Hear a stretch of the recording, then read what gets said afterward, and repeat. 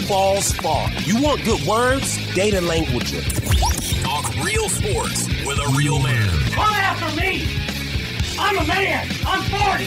And now here's the be all end all know it all of high school, college, and pro sports. Aaron Skinny Count with the Skinny on Sports. We're talking about practice, man.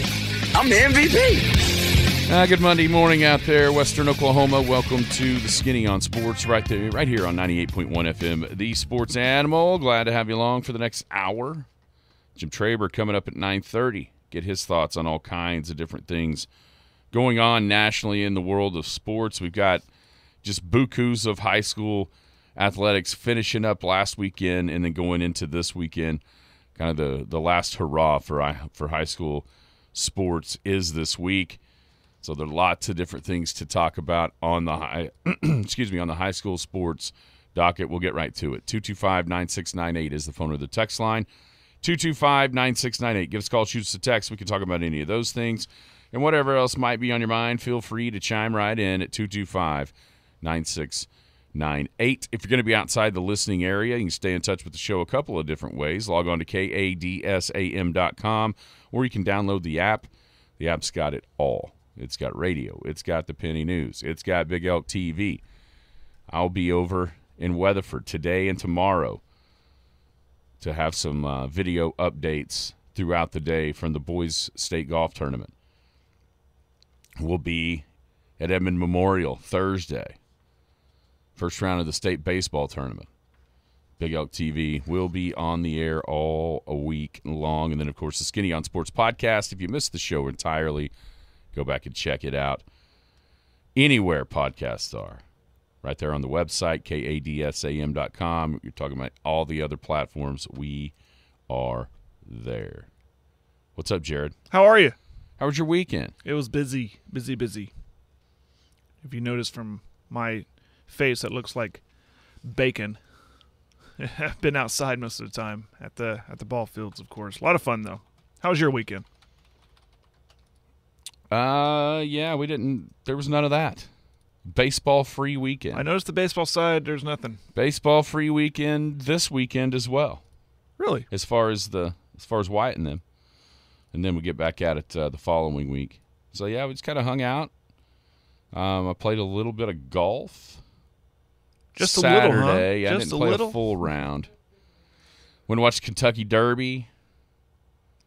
Out at my father-in-law's house. Went and watched some local music on Saturday night.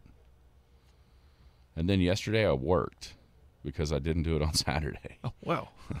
So I was up here for well, after church got out, we ate lunch, and then I was here till about five thirty or something, trying to get everything done so that I could be gone. You know what I mean? Yeah. You, you know how that goes. Oh yeah, You got to take time now to save time later. I understand. Uh, but this weekend, lots of high school athletics were on the schedule. Um, up in Edmond, small school baseball tournament still going on. Finals are today. Uh, Canute Trojans sounded like Saturday night's game was a wild one uh, against Laverne, which Canute held on to win six five. Then yesterday fell to Sterling seven to three.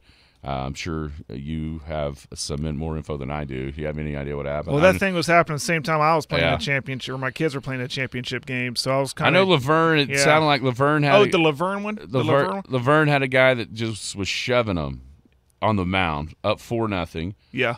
And then it's one of those situations where I think Laverne was trying to look at big picture Right. for pitching, for saving Right. pitching. And then when that happened, Canute was able to come back and, and eliminate a four nothing deficit. Then in the final inning, a little bit of the same thing. Where Taylor was trying to save an arm. Yeah. Oh, You know, yeah. we were kind of me and others were texting each other, and during that, as that was happening, you know, I was in the garage, had it on Game Changer, the you know, just the stat stream, you know, and um, we were all kind of wondering, well, what kind of arms are they going to have left? And it turned out, doing the math, they actually had some arms left, but it it's it felt like that a lot of like a lot of uh, planning ahead and everything. But as far as the you know, it was two to nothing forever, and then um, and then you know got later in the game, and then uh, it went at what four nothing, and then Canute came back, tied it. Actually, took a lead at five four. Laverne tied it five to five. Canute will wind up winning. But I just knew that you know I kept thinking, well, the bats are going to come alive. They're eventually going to come alive, and they did.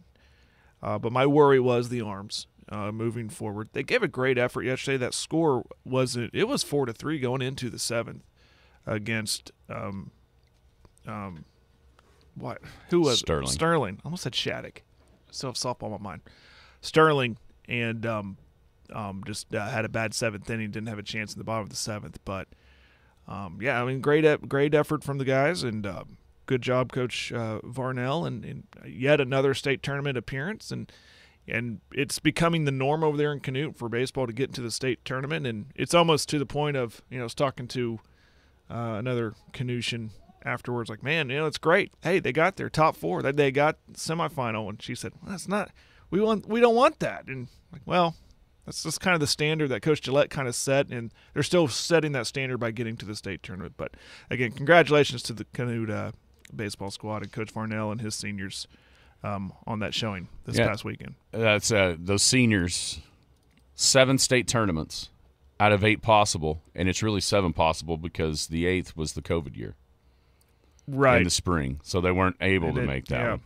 One state once was runner up once, 183 and 40, the record for four years for those guys uh, that are graduating this year from Canute baseball. So yeah, I mean obviously tons and tons and tons of success uh, over there right now, and see how long they can keep it rolling down the tracks uh, there at Canute. You've got 4A baseball. We were here on Friday, finishing up that regional at Elk City. Mount St. Mary defeated Chickasha, which I think that was a little bit of a surprise for a lot of people that the opponent was Mount St. Mary. And man, talk about running out of arms. Gosh, Mount St. Mary definitely did that.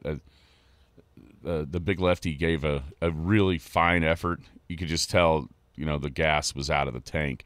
Uh, and then for the Elks, catch Gino, just a little bit of a struggle early in the first inning uh, with with getting the ball in the strike zone. But man, that six four three double play with what the bases loaded, I think, if I remember right, bases loaded and nobody out, I can't or maybe remember. second, maybe I first think and it was third. first and Yeah, but they didn't. But they scored and they scored on the single. Yeah, yeah. So it so it couldn't have been. It may have just been first and second, uh, and nobody out. That that may have been what it was. After that, after the RBI single, first and second, nobody out. Then you roll a double play. Then you get a strikeout, and only limit that damage to one to one run. Uh, and after that, Cash was awesome. Um, Big Elk pitching in the playoffs so far has been awesome.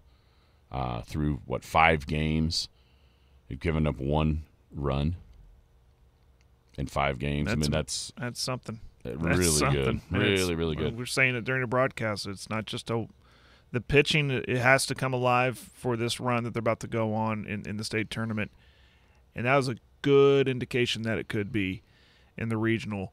You didn't rely on one arm and then eke out other wins. It was dominant, and that's where it started. It was dominant on the mound all three games, in my opinion. So we know through the grapevine what's happening. Uh, there's not an official state tournament bracket posted just yet, but we do know uh, what's going to be happening. So the 4A tournament's going to be at Edmond Memorial on Thursday and Friday. The finals will be at Bricktown on Saturday. Elk City will play the 1:30 game on Thursday in the quarterfinals. Uh, they do not know the opponent yet. That that game has to be played. Finish up a regional over in far eastern Oklahoma today. Oologah and Sallisaw.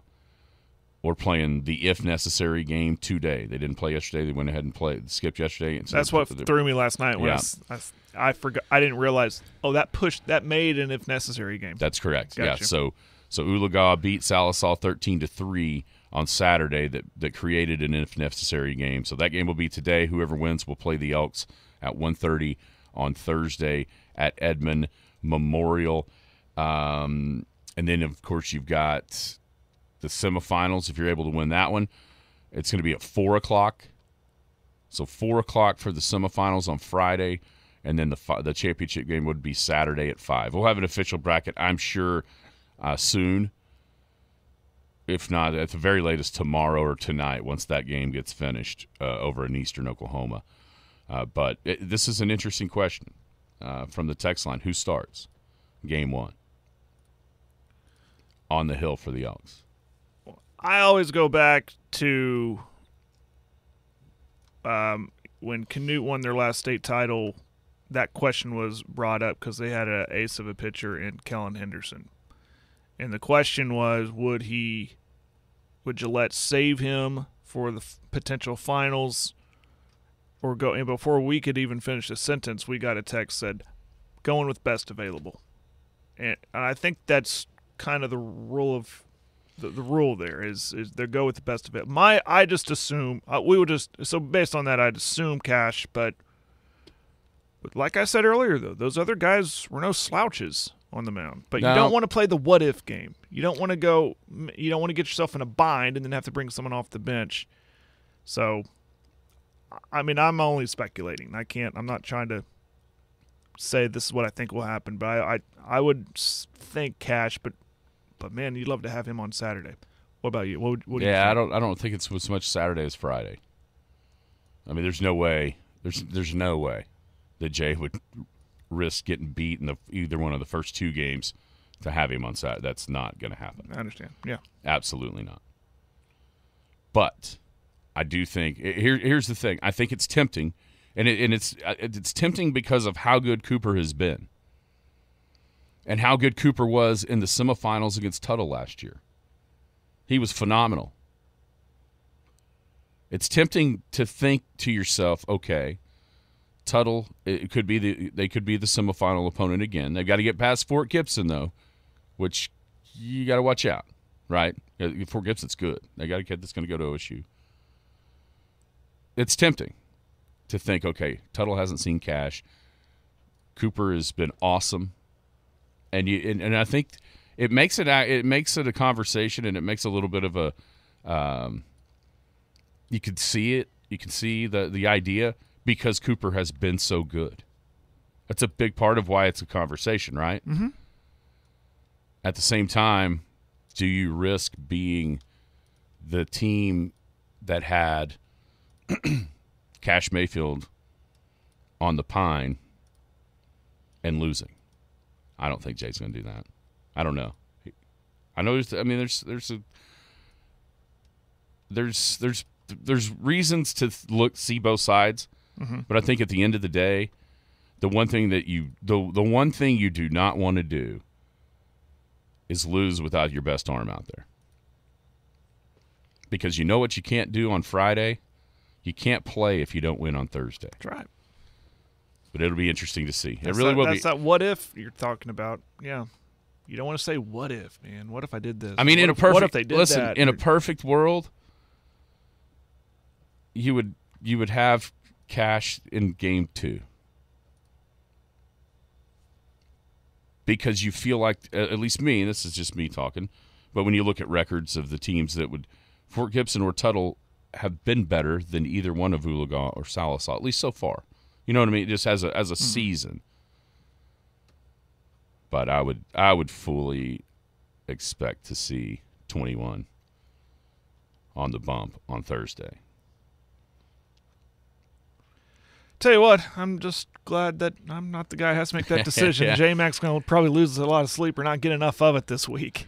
Poor Eat guy. something, Jay. Right? I'm already I'm already I'm gonna have to be like texting him throughout the week. Eat something. We might need to, what do you call that? Create a uh, a meal train for him. yes, and make him. You got to force him to eat it though. yeah, no, that's I, the one thing about it is if you go that route, no one says a word.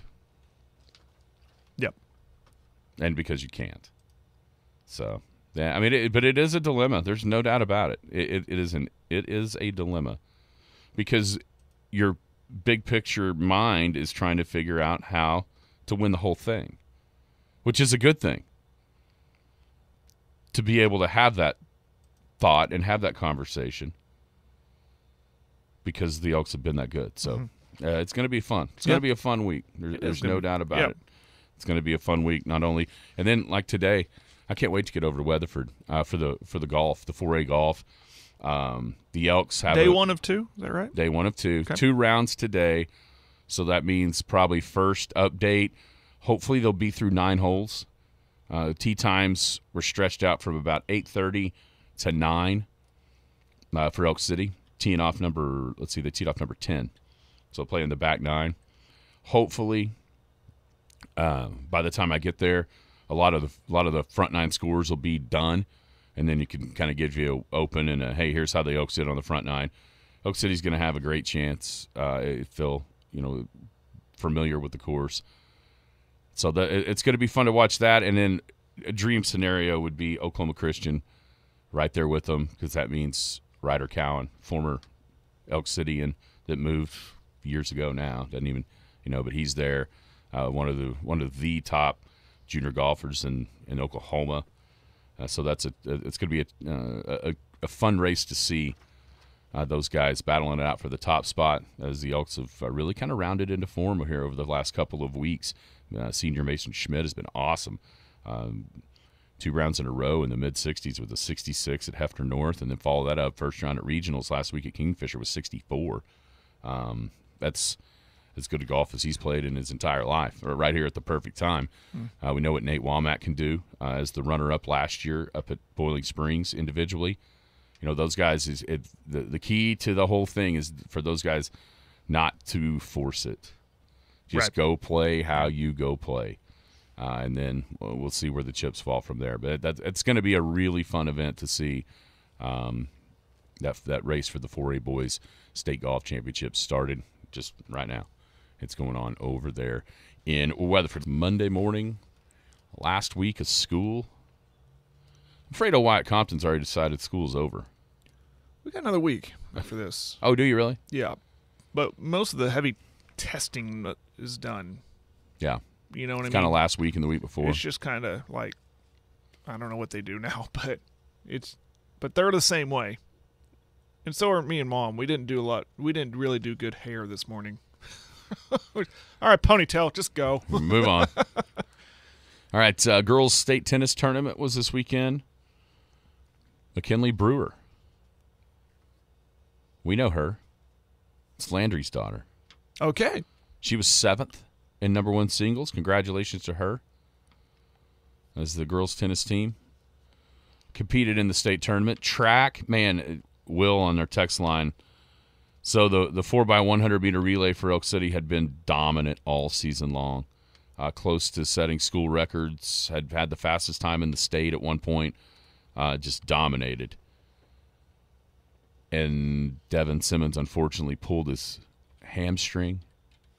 Ah, and so darn it. You know the chances there went right out the window. That's it just you know terrible luck for that to happen when it happened with those guys um, who would who were looking to to do things that never been done here. Quite honestly, as far as the the speed that they were running that race with, so that really that really stinks uh, that that that happened when it happened. Um, I know we, we got that text from from Daniel that Cooper Garbarino was third in pole vault and he just picked it up this track season, so that's promising for next year, obviously, uh, for him to continue to get better at that. So you know, just uh, man, it, it just kind of leaves a little bit of a sour taste in your mouth, right? If you're, you know, wanting to see those guys get to the level that it looked like they might be able to get to with that relay, mm-hmm. and then it just didn't happen. You know, it just went. Unfortunately, it just went away uh, there with a with that injury. Um, I'm efforting results for smaller schools. Yeah, looking at, looking here, uh, Cooper Patton looks like he was fourth in the uh, 100 uh, meter with a time of 10.98. Uh, Jack Morgan was fourth in the 3200 with the time of with the time of 10 minutes 13 seconds 13.82 seconds uh, as mentioned, Garbo was third in the, in the pole vault for the boys. Remy Murray was third in the girls' pole vault, jumping 10 6. And then uh, da, da, da, that's the one that, that was the, the finishers that scored points in the state track meet for Elk City, uh, boys and girls in Class 4A. Uh, and by the way, if anyone wants to text in results, I know there's a Yeah. ton of them with the small school. It's, I mean, it's almost impossible to get them all, but uh, text them in. But uh, the ones I got uh, over at Hammon Grace Crabchaw, she finished fifth in the 400 meter dash. And Canute put a team, uh, the 4x100, that finished third. Yeah, Kylie finished third. Kylie Smith was third in the 100. A team of uh, Kim Harris, Destiny Jackson, Malia DeGarmo, and Kylie Smith. Finished third on that one. That was on Saturday. Kylie finished fourth in the 200. There's a lots of those. Yeah, there, there are a ton.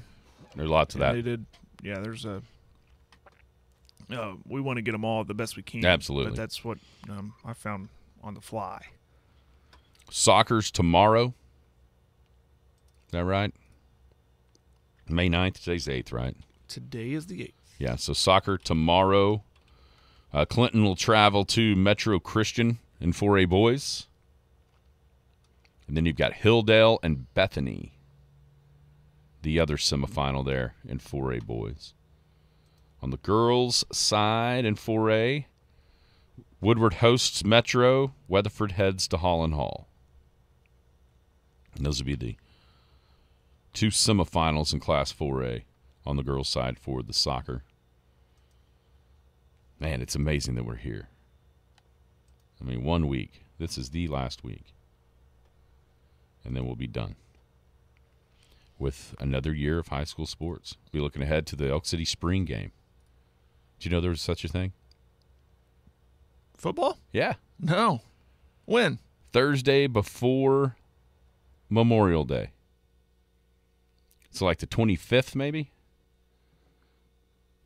That would be. Memorial Day is the 29th. So, yeah, 25th. Okay. Also, speaking of football, We can do that. athletics, I have no idea. I just know when it is. I saw Zach the other day. Are they going to have a weird scoring system like Uh, every man, other spring game in college? I was trying to remember. It seemed like maybe we were playing somebody, but surely not. I don't remember. I don't know. I got so much in my head right now uh, for different things. Uh, How about we just go and be fans for once? Yeah, that's what I want to do. uh, timing wise, hey, tonight. Speaking of athletics in Elk City, tonight, six to eight thirty. If you are going to play school sports in the brown and white next year, you can go get a physical tonight, six o'clock. Pioneer Center. Sixth graders through twelfth graders. Go up there. Six o'clock at the Pioneer Center gym. Go get you a physical so that you can compete for the junior elks, for the big elks, for the Elkettes, for the junior Elkettes. That will be this evening at the Pioneer Center gym. Don't forget, starting about 11, BigElkTV.com, I'll be over at Weatherford at Prairie West Golf Course to give you updates from the Class 4A Boys State Golf Tournament. 36 holes today, 18 tomorrow. See if the Elks can have individuals and team success. Uh, we'll be there, gosh, 11 o'clock will be probably the first update all the way through 6 or 7 tonight, depending on when things wrap up after 36 holes tonight. So you can tune in kind of top of the hour on Big Elk TV to see those video updates. Joining us now, it will be the voice you'll hear at 2 o'clock right here on these airwaves. It's the ultimate Jim Traber. Jim, how are you? I'm good, fellas. Uh, is Elk City good in, in golf? Uh, yes, a couple of guys that are seniors. One's going to go play uh, Division two golf in Missouri. Another kid is last is last, two of his last three rounds have been 66, 64. So they uh, they'll have a chance if they play well. But an, another guy that grew up here uh, and then moved uh, to the city his parents for job reasons, uh, Ryder Cowan. Uh, he is already he's going to OU next year. He's fantastic. Uh, he'd be nice to still have on our side this week, but instead he's up there with at Oklahoma Christian Schools. So that'll be you know those two teams and a couple others are probably where the state champion will come out of. Very nice. Very nice. Well, the weather's beautiful, so should be uh, should be some great golf. Great golf. No doubt about it. Hey, I want to start with what happened at the end of last week, and it's something that's a big topic of conversation here uh, with with the sports gambling. And I, Jared and I were talking Friday with the Alabama thing that is happening, and now a lot have come out with their coach being in direct contact with the guy uh, that's making those bets. I submit to you, Jim, that the reason that he got caught is because it was legal and the regulators are able to track that stuff down easier than if it would have been making illegal bets. What do you think? Oh, I mean, I you could be right, but I don't. I mean, how many? I mean, so in other words, what you're saying. Think about this. Think about this. What you're saying is is that you'd rather have somebody do something illegally than legally. yeah, I mean, I mean, think about that. Yeah. That's what you're you're you're on your program here in wonderful Elk City, telling everybody that you want it to be illegal and not legal. No. Because if it is illegal, they're going to gamble. Maybe not as much. I mean, there's probably people listening to this show right now that you know uh, like to bet on sports, and if it becomes legal, um, they'll probably do it. Whereas when they wouldn't do it illegal. And what closest? I mean, I would think um, I don't know if Lucky Star in uh, Clinton would um, do gambling. I'm not sure, but there's going to be a place near close to Elk City that they'll be able to gamble. Instead, they're going to do it like with bookies and stuff. So I understand what you're saying. It could be right, but I don't know. I, look, so here's the deal. We've had gambling now in a bunch of different states legally, and it's been going on for a while now. And this is the one thing that we've seen happen right. that some idiot coach was on the phone with a friend of his um, and telling him that, hey, I'm not going. Well, I guess I guess he told him that the pitcher's not going to start. They bet fifty grand. By the way, this is Ohio's gambling place's fault. Correct me if I'm wrong, but wasn't that the only bet there was made on this game? There was only one bet made on this game, and it was for fifty thousand dollars. Now I don't know about you, but if I'm taking a bet for fifty thousand on LSU Alabama, I'm going to call my supervisor over and go, "Hey, you know, before I take this bet, this is a little bit ridiculous." What I'm trying to say is, is that this bet could have not gotten down. They still, still would have gotten in trouble. Probably, they still would have figured it out. But uh, I just don't think that they did a good enough job with it, really. Yeah, it's, I think wasn't he at the Great American Ballpark in Cincinnati where he made that bet? Was that it? Because I don't, I don't know. So he was not at a casino. No, it was, I- it was at the, it was at the baseball stadium. Yeah, I think he was at the baseball stadium where he made the bet. And I, I got to thinking, Wow. is he doing that online or is do they have some kind of kiosk in there? Surely not. I don't. I mean, I, I would. I'd find it hard to believe at a baseball stadium you could do it, but with all the different amenities, maybe there is some sort of, you know, a casino level or something uh, around there somewhere. Well, that's that's one of the things that everybody's talked about. I mean, they're talking about in, in you know in Oklahoma City at the Thunder games being able to bet on the game. yeah. So I don't know if it's online or if there's some, like you said, a kiosk. I don't know. You've been to Vegas. Can you do you know? Can they bet at Raiders games? I've never been to a Raiders game. Right. You but haven't heard or I don't. I don't. I don't know. I have not. No, I haven't heard. I do know there's arenas right now that you can bet though. In states that gamble is that legal, gambling is legal, you can bet in the arenas. You know, you can sit there in your seat and go online and bet. So um, I know Fatback. Fatback has a. Uh, he's online, and wherever he is, if it's legal, he can bet whatever game he wants to bet. Yeah. So I, you know, it's. But I don't know though, Skinny. I mean, it's a nice stretch that you're making, but I just. It's the first time that we've had anything like this happen. No, no. I, I'm saying it, I'm saying he got caught because it was legal. And, and- right? No, no, no. That's, yeah. I know. Yeah, and, and I mean, But- for the people that are worried about this, the games being being fixed or whatever as as a reason to not have legal gambling, I think this prove ought to help prove that hey, even if it is, it gets caught. You know, you know, it doesn't just carry on and on and on through to, to oblivion. No, that's a good point. You're right. But I, you know, I'll tell you this though. Uh, if I didn't want to get caught, I could find a bookie. Yeah, I mean, there's still bookies out there. Um, I don't know. This this coach is an idiot. I don't know why he did this. I don't know why he was involved in it. Sounds like he might have been a little bit more innocent than we think, you know. But he should have known better. Can't tell some dude. Like in other words, I don't think he called this dude up and said, "Hey, I'm not. I'm scratching the pitcher. Go bet on LSU." right.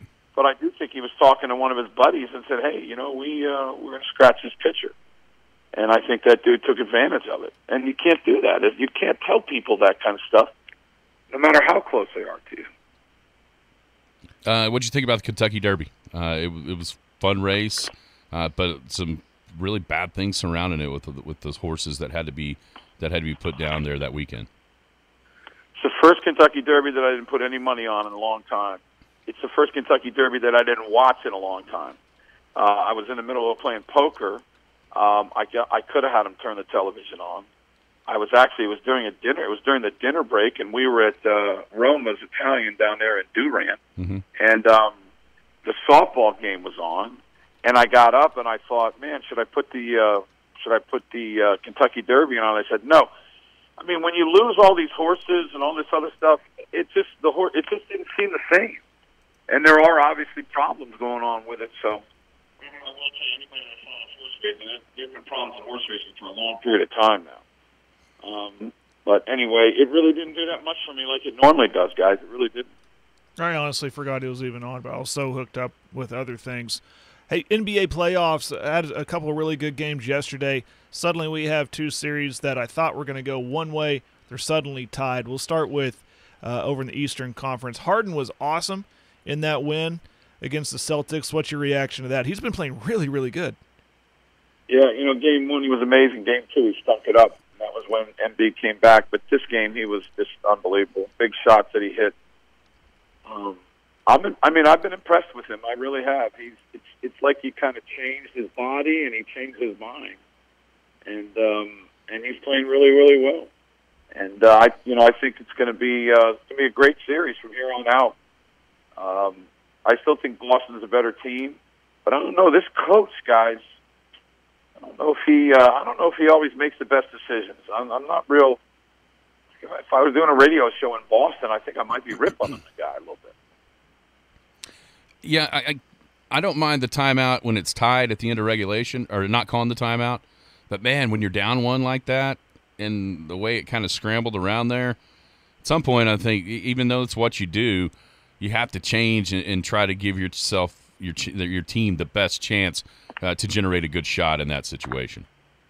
Yeah, I mean, I think I think I'd have probably called the timeout, but I don't know. I mean, you know, we always nitpick and stuff. You give it up to Philly; they made the plays when they had to, and this is going to be a great series. There's still a lot of great basketball left.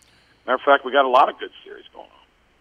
It did feel like in the fourth quarter that maybe uh, Boston found a little something. Al Horford was awesome on Embiid. I think he was only one for six in the fourth quarter. He blocked three of his five shots against Embiid in that fourth quarter. Is that something? How, how does is that just Horford playing great, or is that a sign that maybe Embiid is either not quite back in tip-top shape after the injury, or maybe that knee's still bothering him a little bit?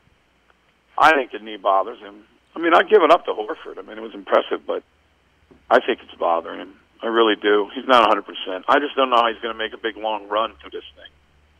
Now they do have a decent amount. If they, well, if they go seven, it won't be as, but but they do have some time in between the next series.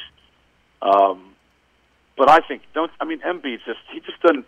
I mean, the guy can still play, obviously, but he just doesn't look like he totally looks. And I think while, when the game gets late, you know, it starts to wear out that leg a little bit. And I think that it probably messed with it. But I give it up to Horford. I just think that uh, I just think the injury has something to do with it too.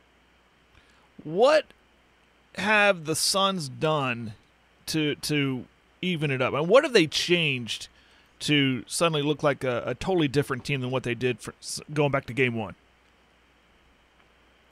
I don't know if it's. I mean, the bench scored. I mean, you know, I mean, first of all, Booker. I texted Matt Ravis last night. I said Booker. I think Booker is playing his way into one of the top five players in the league. I mean, I, I, this is unbelievable what he's doing. I don't care just about scoring points. The efficiency is beyond belief. Yeah.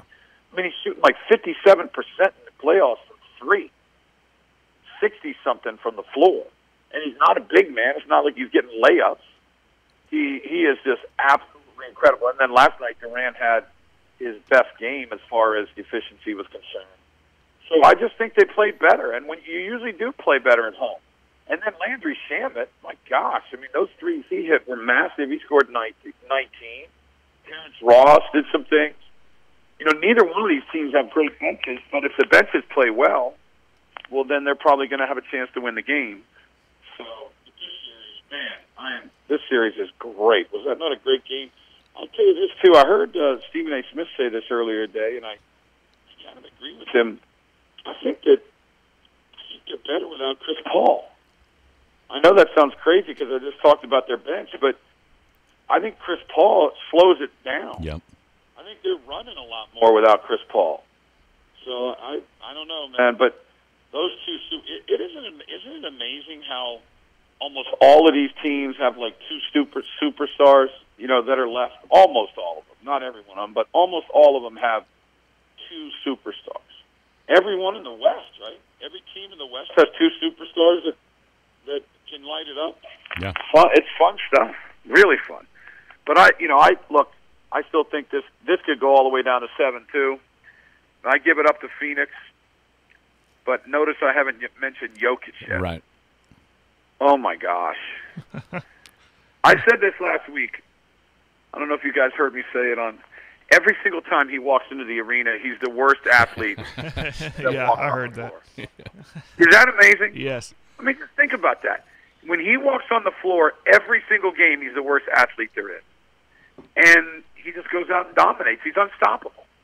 You can't stop the guy. It's absolutely amazing. Unless you're the Suns By the owner. way, Yeah. yes, I was going to say, I was just going to say, that is absolutely ridiculous. Ishbia, that's his name, right? Yeah. That is absolutely ridiculous what that guy did. First of all, he didn't deserve a technical, and secondly, they better not do anything else to Jokic. All he's trying to do is get the ball, and this dude's holding on to the ball, and then he flopped like he was in a daggone WWE uh, uh, match. I mean, it was ridiculous how he went down. Yeah, I'm sorry, man. Jokic deserved no. I, I will say this. You know, you got to give it up to the owner because he got him. He got his team a point by doing that. Right? He shot a, a free throw and because of the technical, but he's holding on to the ball. He knows. Everybody knows. Jokic wants to run the break. They want to go. So I thought that was absolutely ludicrous. And then I heard somebody after the game ask Malone, "Well, I mean, does it matter? You know, it's the owner." And he said, "I don't give a blank." And that's true. Yeah. Once you're sitting down on the floor, you're just a, you're a person.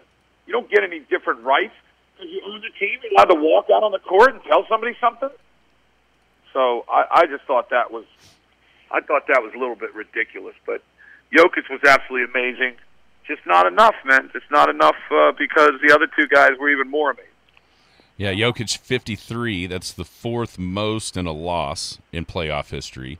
It's the most in a regular uh, regulation playoff loss. It was the second most by a center in a loss. Only Wilt scoring 56 in a loss in the playoffs. And then you, you mentioned Booker and how incredible he's been. So he's 79% over the last two games, 34 of 43 from the floor. That's the highest percentage in a two-game span in, play, in postseason history by someone that's not a center, essentially. I mean that that is n- that is nuts. Uh, and I think you. I think you make a great point, or Stephen A. made a great point. It does feel like after Chris Paul has been uh, has been out of the lineup, Phoenix is they're just unleashing Booker and Durant, and maybe that even helps uh, those other guys as well. But as we've seen for years, Jim, the the bench can play a lot of times at home. Now, can they play well enough in Denver to steal one and get this back with the Suns a chance to win in Game Six? Well, it's going to be hard. I mean, because you know, I always talk about that altitude too. You know, you, you you're in Phoenix, and then you get on you get you get on that plane, and you go to Denver, and it's a lot different in that altitude. A lot different. Um, but yeah, back to Booker. He is, I, by the way, he's been playing point guard. Yeah. Too. What's he got? 18 assists in the last two games, um, or 20 maybe. He he's just. I mean, it's it's absolutely incredible what this guy's doing. And you know they're talking about him. Brian Windhorst this morning was talking about him with Michael Jordan and Kobe Bryant. Now you got to keep doing it, you know, in the in the later games. But he's on his he's on his he's on pace right now to have the greatest playoff run of all time. Now you got to keep winning. You got to keep doing it. But um, yeah, it, it's been some great individual performances. I mean, just uh, all over the league. You know, I mean, on ev- every you mentioned Harden. You got Jimmy Butler when he's healthy. He's absolutely amazing. Um, obviously, you know Anthony Davis every other game. Yeah. It, it it really is impressive what's happening in the league. Can't wait can't wait for the nighttime so I can watch some more. Yeah, Booker 47 and 9 in a game three win, and then 36 and 12. So 21 assists to go along with what 83 points on 80 percent shooting. it's that's that's that, that's just awesome.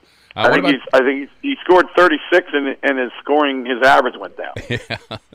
uh, what about tonight? Uh, you know, Miami and New York. It's it's almost like the odd little stepchild of the series because it's hard to watch. It's not nearly as fun as as the rest of these. Um, but it, you know what? It took all year long, but it does feel like the Heat have have kind of figured this thing out, and maybe they're the team that I know you thought they were going to be uh, at the first of the season. Yeah, I definitely. I mean, I definitely thought they would be better. That's why I picked them to win the East. Um, but yeah, it's it's this series is really hard to watch compared to all the other series.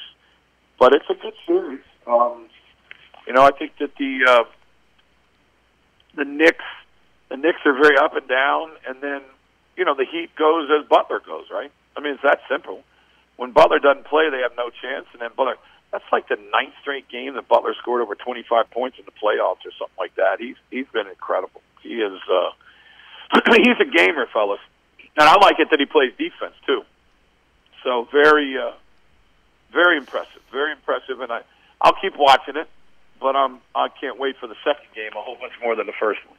Yeah, you mentioned Anthony Davis. It's it's really weird what how it's literally every other game. So tonight sets up for a bad one. You know, we haven't seen Le- LeBron's been doing everything, but we haven't seen just that nuclear game from him as far as scoring wise. Do you think they need that out of him tonight? And and what does what does Golden State do? You know, they I think the last series la- last uh, round they set the record. They've won a they've won a road game in 28 straight series and they're going to have to do it again in order to to end up getting out of this semifinal. It's tonight the night where we see okay the Warriors and their their championship medal shine through? I would say yes. Um, and I think, you know, Anthony Davis, 58% in odd games, 42% in even games. 28 points in odd games, 13 points in even games. I mean, I don't know. It just keeps on going like that. So I'm going to go ahead and say yes. This is a game I think that he doesn't play as well. As far as LeBron's concerned, I don't know if the guy can't have a nuclear game. He, I mean, I know he had one last series, but he looks like he's kind of managing his time a little bit, you know. Um, and seriously, at the start of the games, I think he just kind of eases into it. Kind of like you know, when you're old like me, it takes you a while to get off the couch or get out of bed. It's like that's that's kind of what's happening with him. But uh, yeah, he. Um, I I think that Golden State wins and we go back tied, and then the three game series. I think I think that's exactly what's going to happen tonight. Well, I picked the Lakers so to uh, get to the conference finals, so I'm going to have to go against you on that one. Good pick, man. You- you- They're looking good. I feel good about it. Did Did you watch? Um, you mentioned there's some soft, softball on, and the only reason I bring it up because we had Bedlam softball over the weekend. Uh, three games won by OU, What a they were- domination, dude! yeah, What yeah. an unbelievable. I mean that. I mean, first of all, game one. How can you ask for anything better in Oklahoma State? Go deep, three-run bomb in the first inning. How can you ask for it? Home, everything's wonderful. Doesn't matter. Then game two, this pitcher just shoves it, you know where, on OU for what six and whatever. Doesn't matter. And then of course game three is the way they normally play. So just abuse. They are unbeatable. I, I don't know how anybody. I don't know how anybody is going to beat them, especially because you have to beat them in a three-game series. And I know that uh, OSU's thinking two games in a row they're going to win, two different ones, and they don't win either one of them. That's that's a sign of a great team, man. That's what it is. You know, I always talk about it's it's the great great teams win when they don't play the best. Great poker players, when they get bad cards, can still win. And it, it it's the way it is in sports. And OU gets down three nothing. That's a huge. You know that, fellas, in softball. That's a huge number, three nothing. And then what happens? They go three run bomb to tie it, end up winning, and then they, you know, oh, OU need OSU need. I didn't watch every minute of the games, but OSU needed to score more in game two to put a little more pressure. When you're only up one nothing on them, you know, that's a boom, boom, boom. Was it two nothing? Whatever Yeah, it was. two. You got to, yeah, two nothing. You got to score more. You got to score more. You got to get up like five nothing on OU. Then you might you might have a chance to beat them. You know, we saw this kind of last year, and then OSU won the Big 12 tournament. Oklahoma's 41 wins in a row. Would it not be the worst thing of all time if if Oklahoma didn't catch a loss here before the regional start? I talk about this all the time, man. All the time. I do not want to have some big long streak like that. I don't want to be an undefeated team. I just don't. I'd rather lose and feel some adversity. Best thing that could ever happen to OU is that they lose a game, let you know, in the Big 12 tournament, and then they feel it again, and then you know, Patty Gasso. I know she has things to teach on, but there's nothing better than teaching than a loss. So yeah, I I think it'd be really important for them to lose a game. Not saying they can't just run all the way through, but I'd rather, if I was there, I'd rather see a loss. I don't know. I don't know if they can lose. So. Well, it seemed to help them when they lost. Was that last year or two years ago when they lost that opening round in the World Series to uh, that team out of nowhere? James Madison. Or, Yeah. I think that was two years ago. James Madison with seemed- that pitch. Yeah, and it seemed to to take that pressure off of them. So, yeah, I agree with you. It wouldn't wouldn't be a bad thing to to see a loss before the World uh, World Series. What about Big Yeah, 12 baseball this weekend? Uh, Oklahoma State took the weekend off as far as playing inside the conference. Uh, and man, did they put on a show yesterday at the plate. You see what that young kid did? uh, three home runs, two grand slams. Yeah, I'm telling you, man, he's a stud. I talked about him on the radio about a month ago. He is a stud. Um, they Nolan McLean coming back, so you know they we'll see. I mean, they got to get some pitching, but um, they can hit, man. They can really, really, really hit. I don't know if they're going to get a regional at their place because they've just lost too many games to people that they probably should have won. But um, they got a chance. I mean, if they can get some pitching, because they certainly can hit.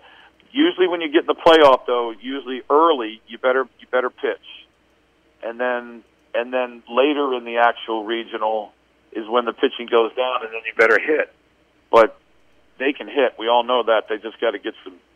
The uh, the Watts Brown kid, he's been kind of off here lately, a little sore arm and stuff, but he needs to get it back. And then Nolan McLean, both hitting and pitching, they need him. So having him back certainly helps. So we'll see. They're, I think they're pretty good, but I just don't know how good their pitching is going to take them.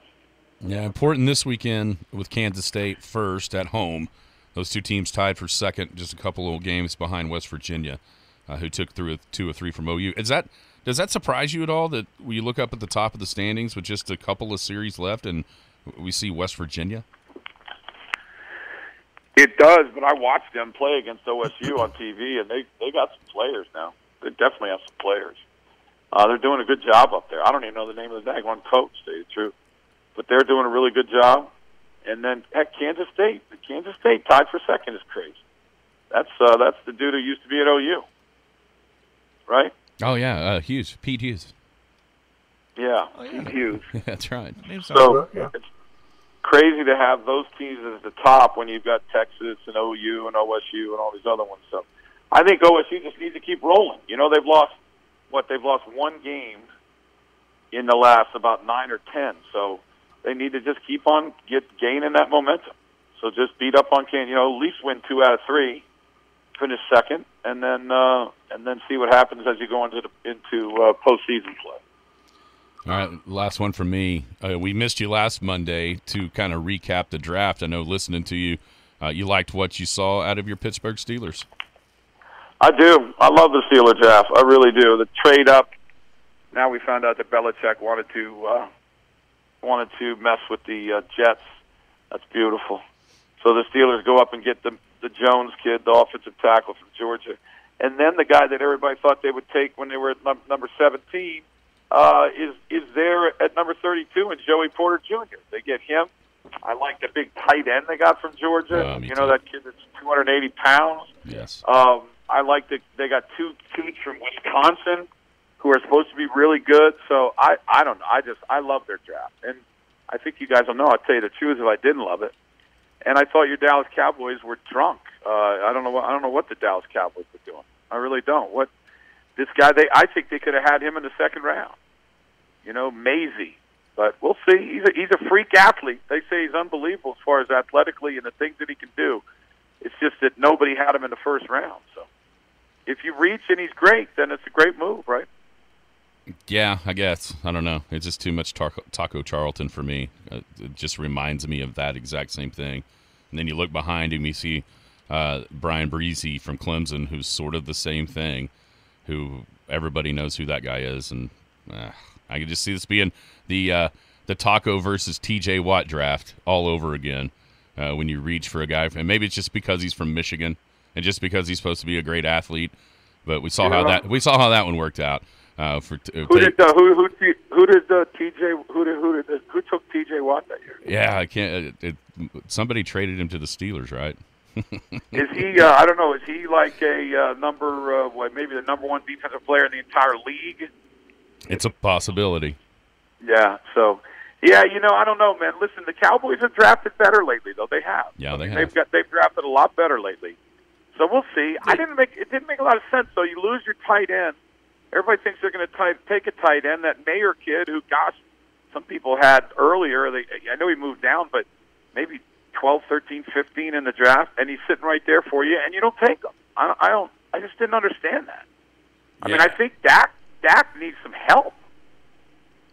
I, I couldn't agree more. And I really, even if you don't take him there, I would have loved to have had the guy you got in the second or third round. In the second round, I thought, okay, The you, big fella. yeah, the big fella from Georgia, thinking, man, Darnell Washington would look good. He, he does everything you want him to do. Um, He can block, man. He's a great blocker. Catches it. I mean, yeah. I, I mean, the Steelers have fired Freiermuth, who I mean, he's really good. Mhm. I just think that they could not believe that he was there. right. You know, they took. Sometimes when you're in the lower rounds, you know, second, third, fourth, fifth in that neighborhood, and you've got a, you know, let's say you've got a third round pick or a second round draft, you know, on on on the guy you think he's a second rounder, and he's still there, like in the middle of the third round. Well, sometimes you got to go. Wait a minute now. I mean, this is ridiculous. We so you take him. I think that's what the Steelers did with him. And then those two kids from uh, Wisconsin, man, they they both look like they're players. So I don't know. We'll see. Uh, that division is really tough that, that the Steelers are in. Some idiot at the table, poker table this weekend, tried to tell me that the Browns are the best team in that division. Yeah, I said, okay, we'll see. Hope you got his In my opinion, I think they're the worst in the division, but whatever. Hey, hey, reminder: uh, uh, Elk City baseball made state, and a certain future maybe OSU player uh, is going to be pitching. When that happens, I'll send you a link so you can check him out. Sounds good. He uh, he. I talked to, to uh, Tom. Hol- I mean to uh, Josh Holliday about him, and he said he's really good. So really good. That's good stuff. Can he? He can hit too, right? Uh, up and down. He, he's kind of in a little bit of a, a slump in the regional this last weekend, but yeah, he can.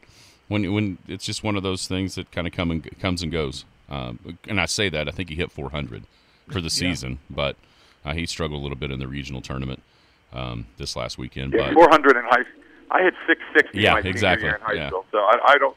If you're a big time player, 400 is nah in high school. That's right. 400 in college is big league, but in high school you better hit better than 400. So All right, I Jim. Uh, that sounds stupid. you've got uh, Al second second round of Al. Part two.